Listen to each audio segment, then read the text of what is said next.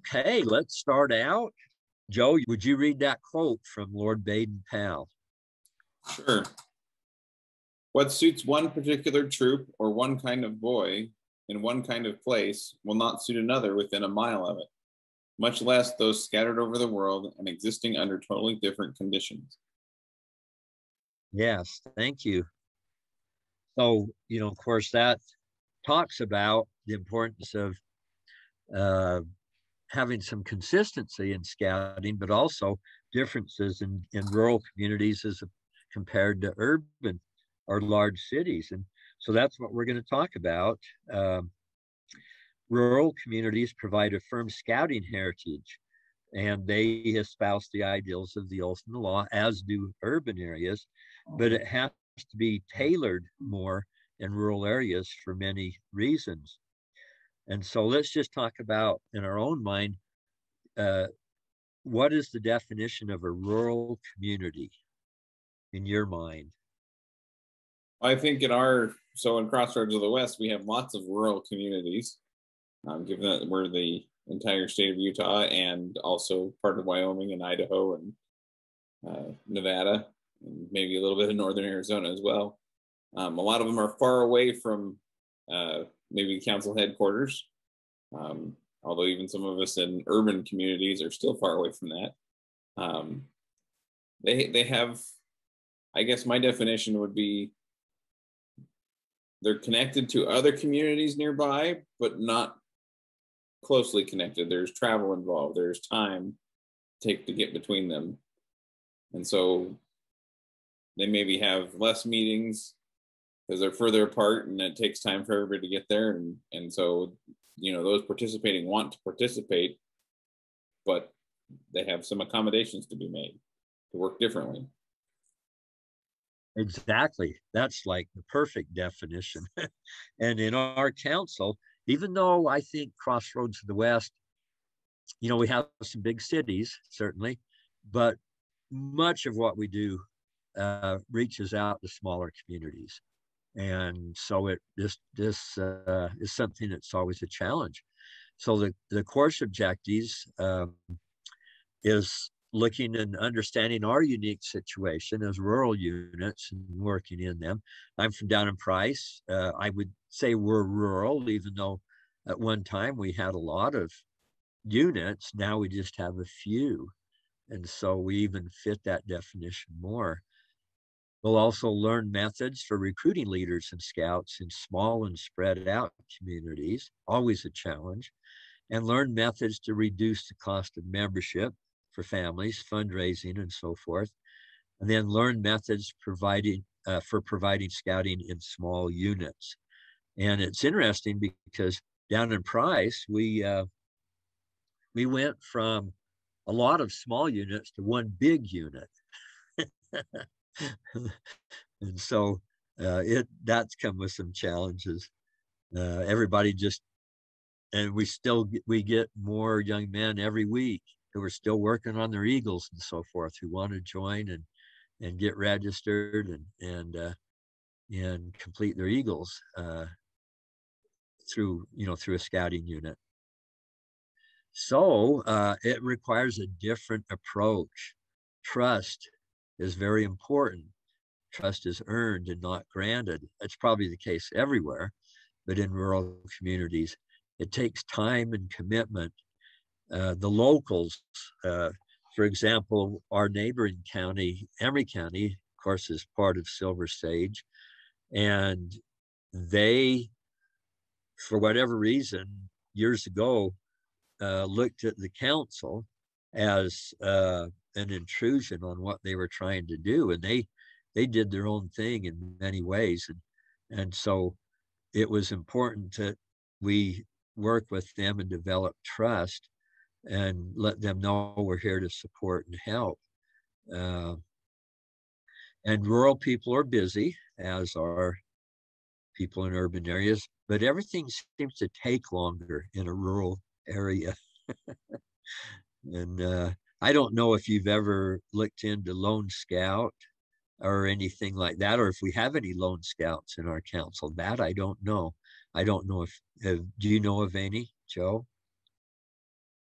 I don't know of any here particularly, but I'm sure there are some.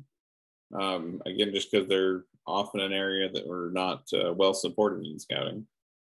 Right. Yeah, I used to run into that quite a bit when I was with Transatlantic Council. Although most of the troops um, were centered around large army posts or navy stations and stuff like that, you would have like little um, lone scout areas where you had uh, an ambassadorship or a consulate or something like that, and there just wasn't anybody else around. So that was relatively common in transatlantic. I'll bet it would be. And in the early days of scouting, I think lone scouts were quite common, probably not as common today. Uh, in in the materials, there's a characteristics of rural community.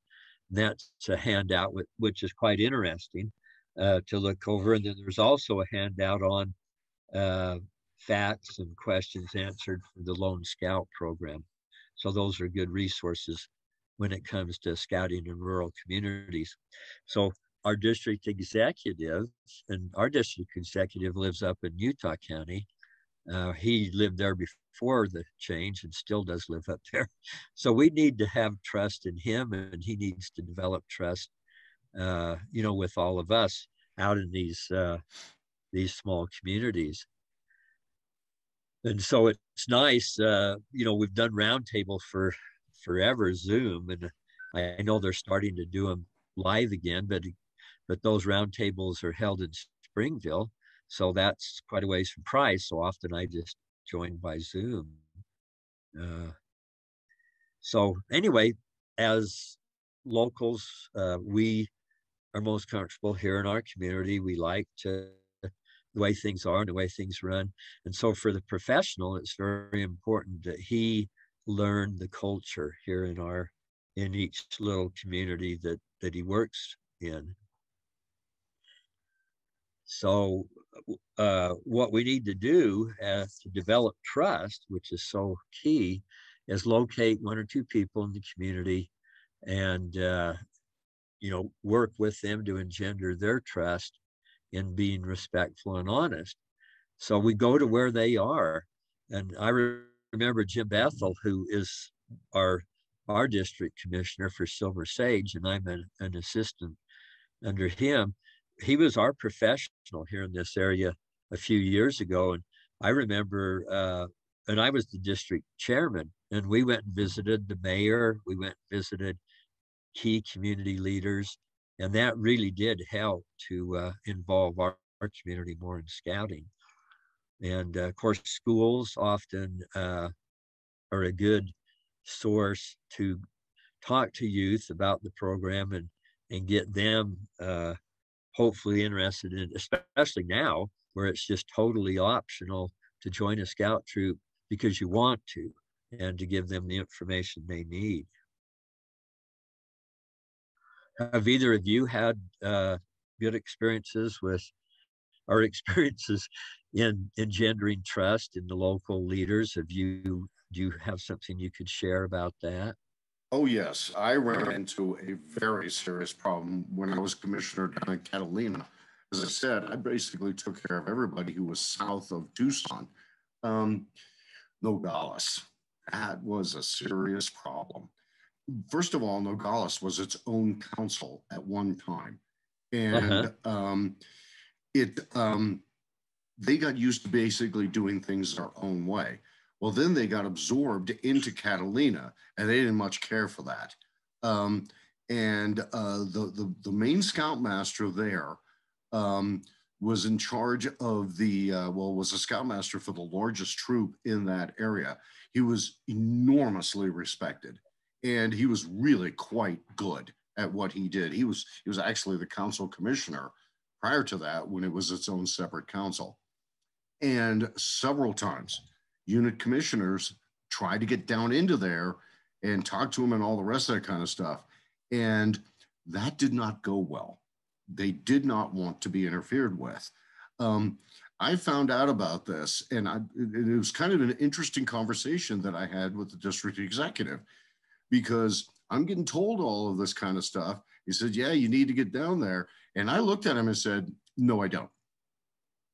Um, wait a minute, we, we need your unit commissioner down there. I said, no, what we need to do is get invited to go down there.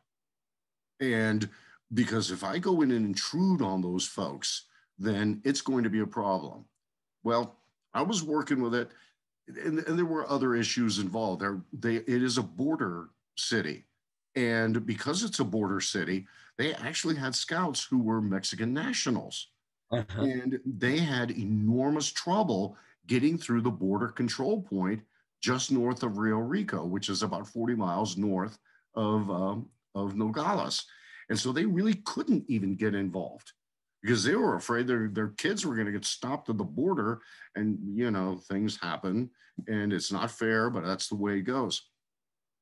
So basically, I worked very, very extensively with the uh, the units just north of there. I had a new unit there, really developed well.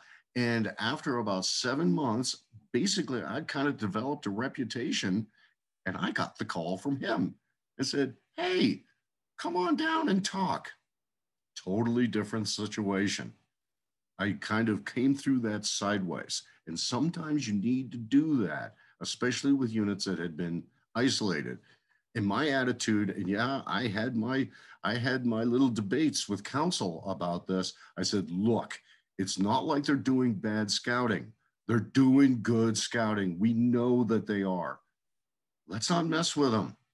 Let's wait until we get the invitation and then we can go down there. And we did. Yes. Excellent. Thank you. So, yeah, you did all the right things there. And, uh, and one thing that suggested is to locate previous scouters. And that, that's always fun, you know, to look at who's out there and they all have something to share and they're all excited to uh, talk about uh, you know their experience in scouting. Uh, some other ideas are visiting volunteer fire departments and local law enforcement. A lot of communities have uh, uh, law enforcement um, explorer post kind of thing going on that where they're supported and helped that way. And then, uh, of course, attend potluck dinners and sporting events.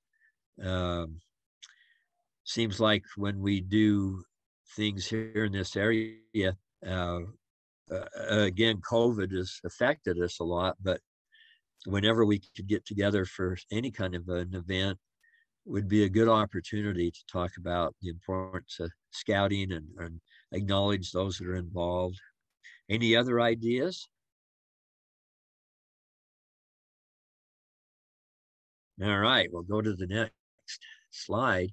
And so being flexible, and that's what you did, uh, Rich, in, in that area, you know, in uh, Nogales and, and, and in, in an area where it was difficult for all the scouts even to be able to get together because they came from another country, some of them.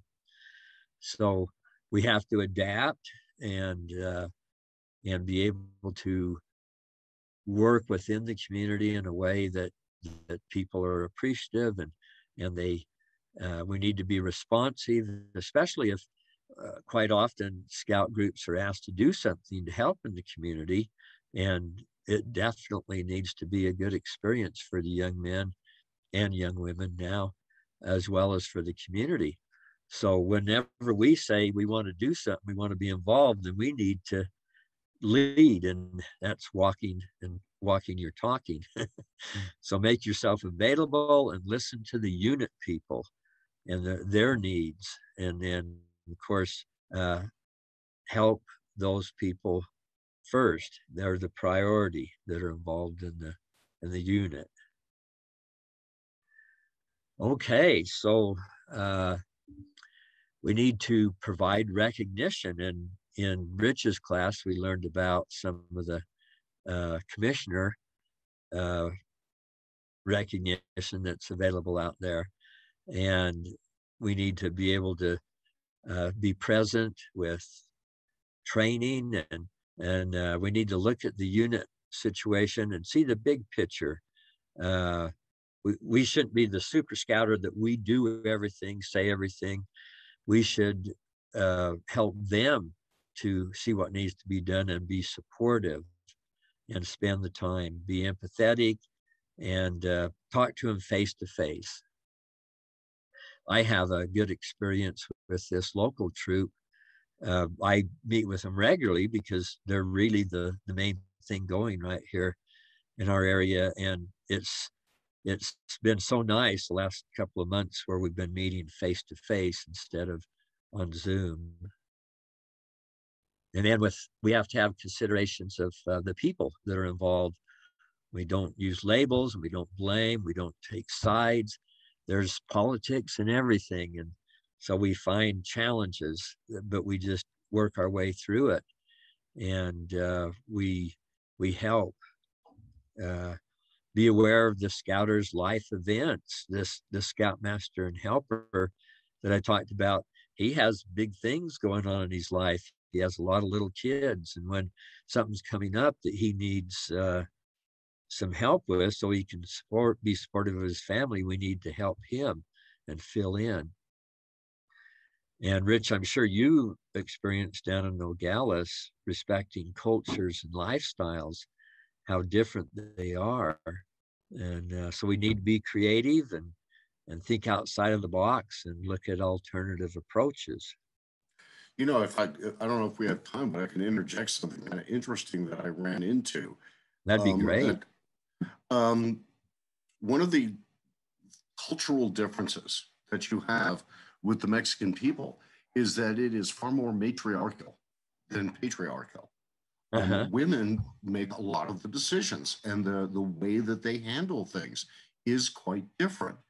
Um, and oftentimes, I actually ran into uh, an issue with uh, with one of my new units in Rio Rico. Um, with one of the assistant scoutmasters, she was a mother with the troop. Um, they tend, by culture, to be kind of helicopter moms. I wouldn't go, you know, too extreme with that, but if uh, a scout runs into a problem, mama comes to help.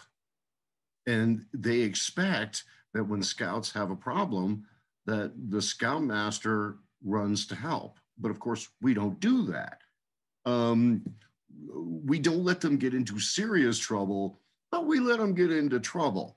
And we did have some cultural problems that, that we had to kind of work through so that she could understand what we were trying to do as scouts and, and in scouting that was actually different than than with her culture.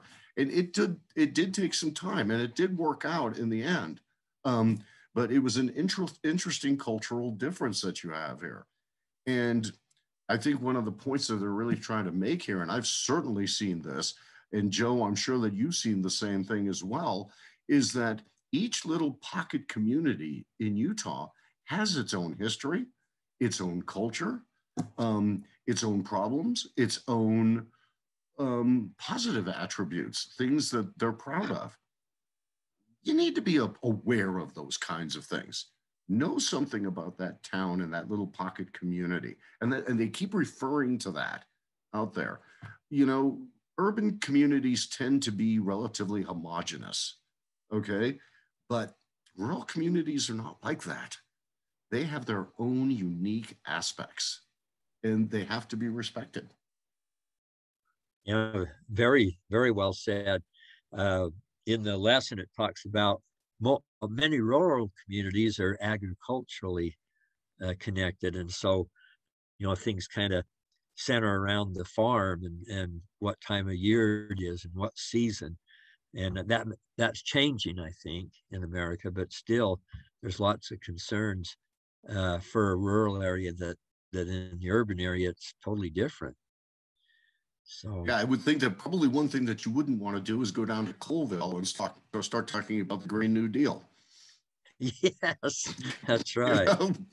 Oh, not wise. It doesn't matter what your personal philosophies are on that one. Yeah, that's probably going to turn folks off. That's exactly right. Yeah, and I've experienced even here in Price that we we have Hispanic youth in our uh, unit, and and what I've experienced, even though with mayoral order, and the woman says a lot of things, uh, when everything's said and done, the the father in the home says this is it. And and we've had some struggles trying to uh, you know work with scouts who the, the father has has a different idea and and that's it. And uh and so i know exactly what you're talking about.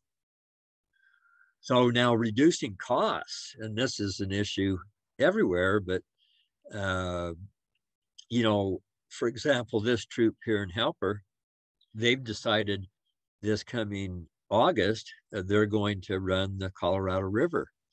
And that river run is going to cost about $300 for each boy and leader that, that uh, participates. And very many of these young men come from homes where uh, their parents aren't going to be able to, to pay $300. So this last week in, in the troop meeting, the Scoutmaster uh, posed the concern of how to raise money. And one thing we've done here in our area, and I think other areas have done, is posting flags on lawns for a certain fee for six major holidays during the year. And the Scoutmaster brought up the concern that they've been doing it in Helper, which is a smaller community, but he hasn't had a lot of help. It's just been some of the adult help, uh, some of the committee, and the youth, the boys haven't participated like they should. So he he and now a lot of boys from Price are also uh, involved, and the sponsoring uh, institution is the the veterans, the veterans of foreign wars here in Price, and they would like flags posted on their lawns. So the Scoutmaster posed the uh, concern that he doesn't have time to go do all that. He needs a lot more support and help. And he met the parents attended this last meeting this last week, and the parents were unanimously in support of of pursuing this so that number one they'd have funds to pay for their their scout to go on this uh, river run this summer but also uh, you know that the scoutmaster and a few other leaders and a few boys aren't doing it every time that they that they all participate and they all help. So I thought that was a very productive discussion.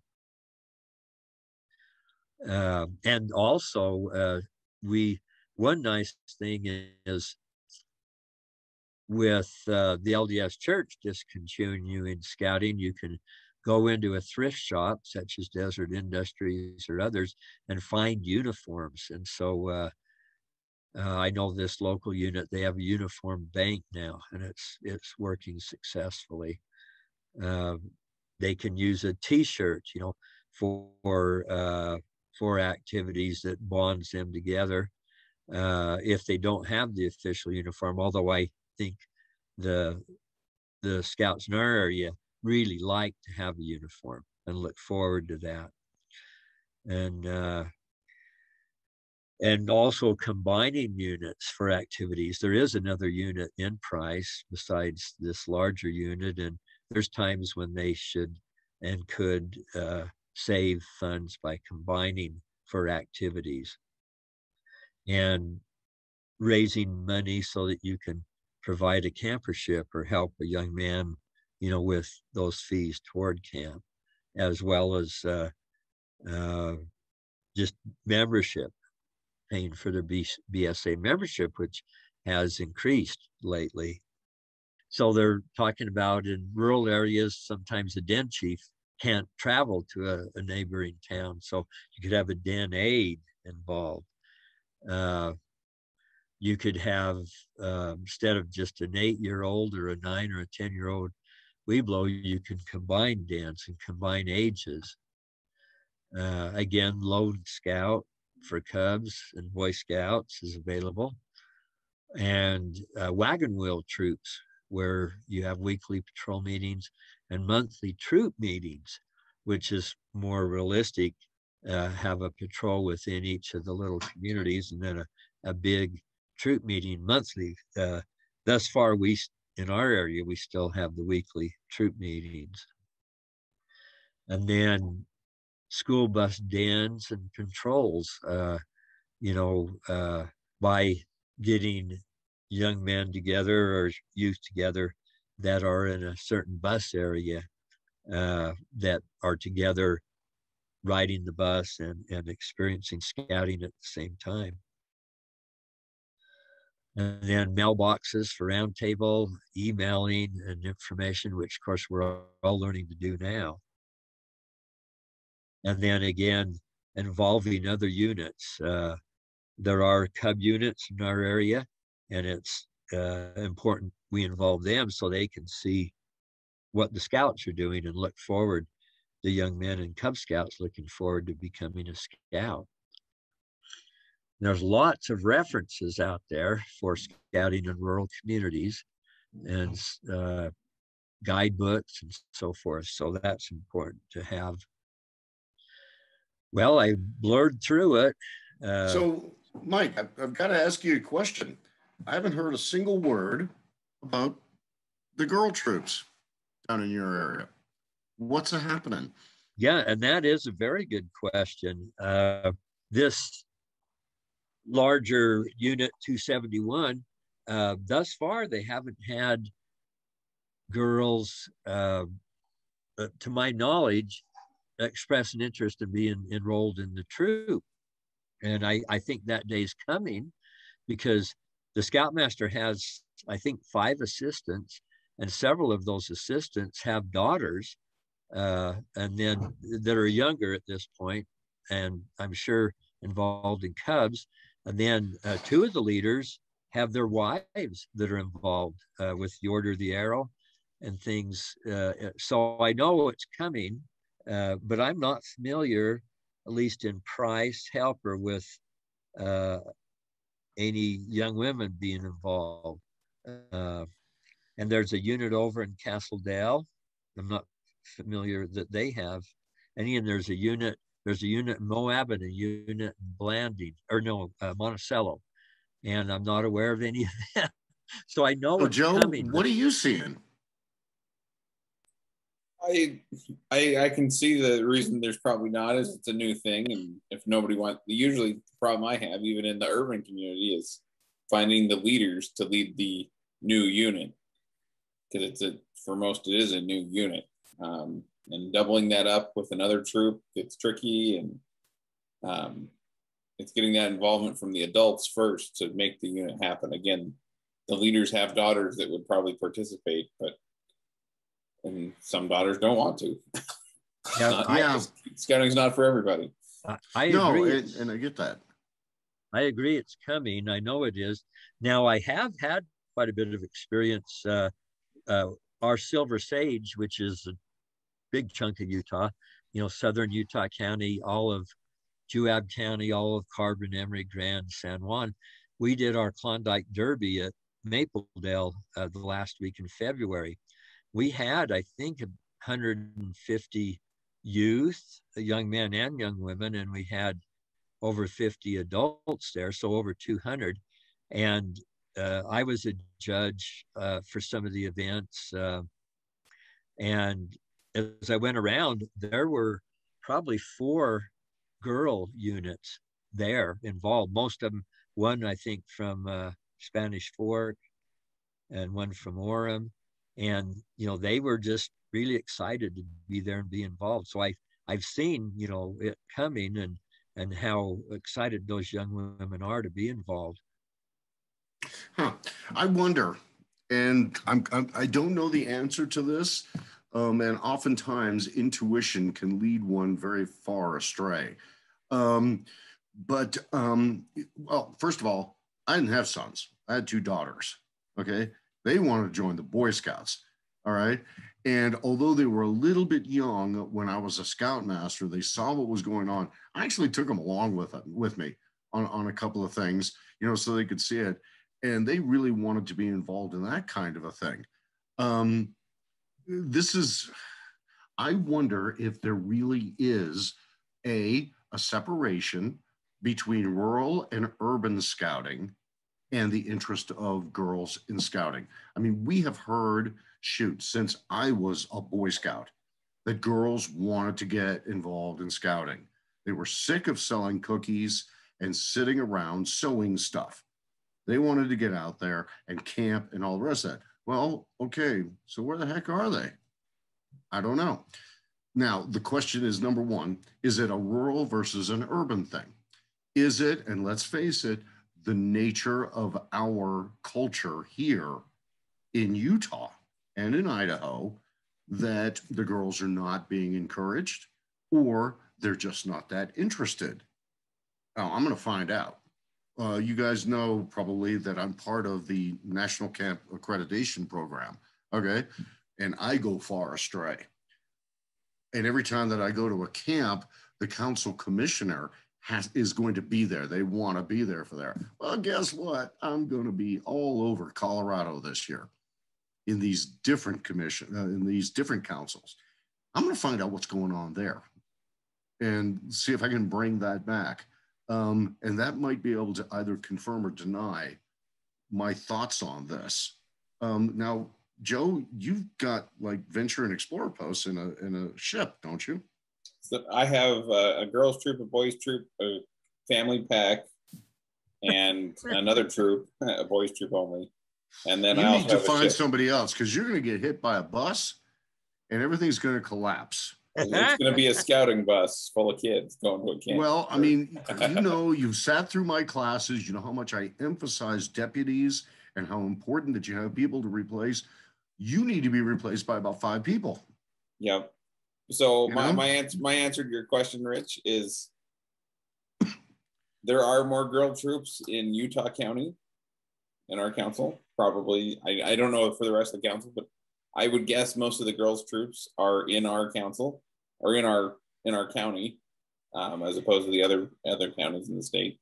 Um, at least for former National Parks Council areas um, only because there are adults who wanted to start the units. I know there are several that I'm somewhat affiliated with or connected with their leaders that folded last year and combined into one. They merged because they didn't have enough leader support and that was the only way to survive. So, slightly more travel, you know, a couple more minutes to a different part of the town um, rather than that. And I would guess in the urban areas, again, it's an adult problem, not a youth problem.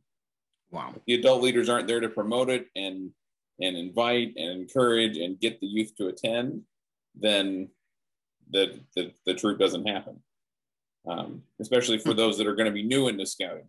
Now, kind of what we're looking at in Utah County as well, or in scouting in general, is the way to start that is to invite them into the Cub Pack, get the kids right. doing Cub Scouts, and once they've done the Cub Scouts, and boys and girls in their appropriate dens. Then, when they turn 11 or, or 12, depending on when they're going to advance from uh, being a Webelo or Arrow of Light year, then they want to do Boy Scouts or Scouts BSA, the full the full shebang, going to all the camping and activities.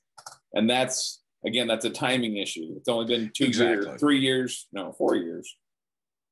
This will be year five for Cub Scouts. No, that's not right. I can't remember yeah, when, but, when family. This is going to take time. There's no question about it because Cubs is a primary feeder, and yep. we know that. Just like Scouts is a primary feeder into Explorer Posts and Ventures. Yep. Um, yeah, I just I wonder about this. Um, I'm seeing tons of young ladies at our camps working as staff. I mean, you saw that in Maple. Um, right. I certainly saw that up there in the uh, in the Teton base. I've seen it all over the place because I'm seeing camps all over. Okay, you know, maybe maybe I'm just being a little bit impatient. I don't know. And I think it's, it's still going to take time. I think it's still early too. A lot of the young women in scouting and Scouts BSA right now were venturers and came back to earn the Eagle because they were still of the appropriate age to do so. Right. And so next year is kind of the year when we find out who's really a young woman that wants to do scouting because she can, because they weren't already involved previously or we're just barely starting right. kind of a thing. So next year is kind yeah. of like the, the year when that'll get kind of leveled out. But I, I don't, there are still far more boy troops than there are girl troops in Scouts. Right. And, and that's to be expected. I just wonder if we're going to have a special and unique problem in rural communities, um, not just in having adult leaders, uh, but just having enough density. I, I don't think to the, the point of this discussion that uh, rural communities are any different in getting young women units together. It Yeah. again comes down to adults and and the community willingness to support that. Yeah. But I do think th- that it is a matter of demographics, like you said.